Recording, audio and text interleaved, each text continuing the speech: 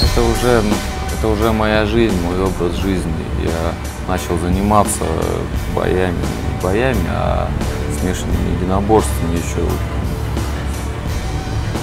еще был ребенком. То есть шел, шел, шел к этому, и я уже не могу просто без этого. Это моя работа, это мой образ жизни, это, это то, чем я живу. Э, И да, мне нравится самому работать, нравится выкладываться, нравится а, идти вперед, добиваться новых результатов, достигать вершин в этом виде спорта, развиваться и развиваться самому постоянно.